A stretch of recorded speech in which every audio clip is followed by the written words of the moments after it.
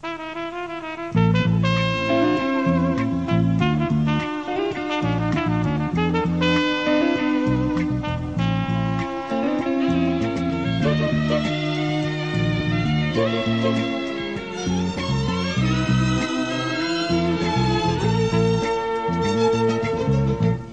たわりあって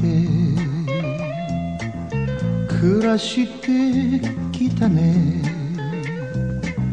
愚痴一つこぼさずに尽くしたお前。死ぬことも怖くはないのよと見つめた。黒い目がたまらなく愛しくなって。抱きしめたぬくもりがこの手に残る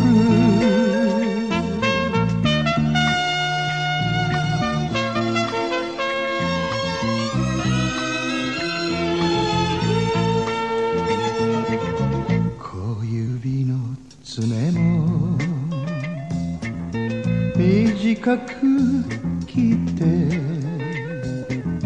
花柄のエプロンが似合ったお前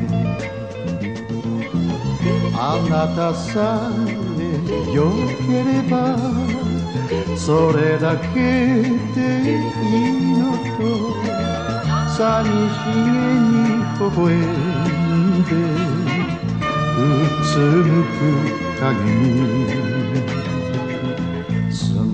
いと詫びている。今夜も一人。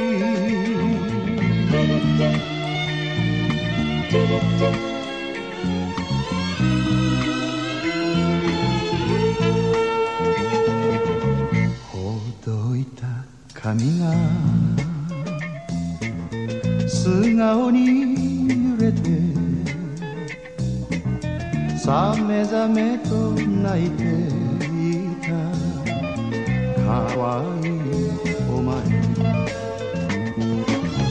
帰る日をひたすら待ちますと言ってた真心の優しさも振り切るなんて。